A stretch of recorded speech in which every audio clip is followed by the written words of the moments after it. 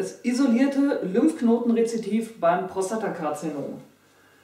Wenn ein Patient zum Beispiel einem lokal begrenzten Tumor initial eine Prostatektomie erhalten hat oder eine lokale Bestrahlung, danach erstmal geheilt war und dann im Laufe der Jahre ein PSA-Rezidiv erleidet und sich im PSMA-PET zeigt, dass dieses eine isolierte Lymphknotenmetastase ist, dann liegt diese am häufigsten in dem Bereich der Iliaca interna.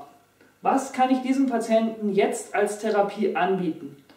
Aktuell wissen wir, dass wir diese Patienten durch eine lokale Therapie heilen können. Und stehen zwei Optionen zur Verfügung, einmal die Operation und einmal die Bestrahlung. Wenn ich jetzt beispielsweise an dieser Stelle im PSMA-Pad genau einen Lymphknoten habe, dann kann ich diesen natürlich ganz gezielt operieren. Jedoch wissen wir aus den Studien, dass mikroskopische Tumorzellen in den Lymphknoten direkt um diesen befallenen Lymphknoten herum vorliegen, sodass dieser Patient nicht nur diesen einen Lymphknoten entfernt bekommen sollte, sondern auch noch die Lymphknoten in der Nähe des befallenen Lymphknotens. Das kann man auch bei zwei bis drei Lymphknotenmetastasen machen, jedoch ist natürlich die Prognose etwas schlechter. Ich kann diesem Patienten auch eine Bestrahlung von diesen Lymphknoten anbieten und genau das gleiche wie bei der Operation. Ich darf nicht nur den befallenen Lymphknoten bestrahlen, sondern ich muss auch die Lymphknoten, die in der Nähe liegen, bestrahlen, weil die dort ja ein mikroskopisches Wachstum aufweisen könnten. Es gibt verschiedenste Konzepte, die man verwenden kann.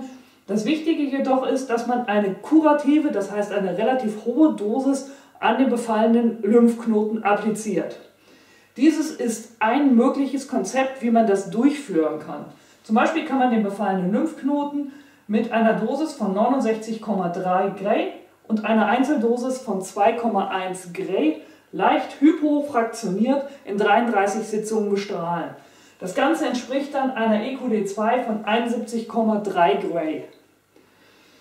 Das kurze Lymphabflussgebiet drumherum braucht keine ganze hohe Dosis, weil ich dort ja nur mikroskopische Tumorzellen habe und kein wirklich makroskopisches Lymphknotenrezidiv, sodass es reicht, wenn ich dieses kurze Lymphabflussgebiet mit grob 56 Gray EQD2 bestrahle. Das würde ich in diesem Fall realisieren mit 59,4 Gray. Gesamtdosis eine Einzeldosis von 1,8 Gray und ich würde das Ganze als integriertes Konzept bestrahlen.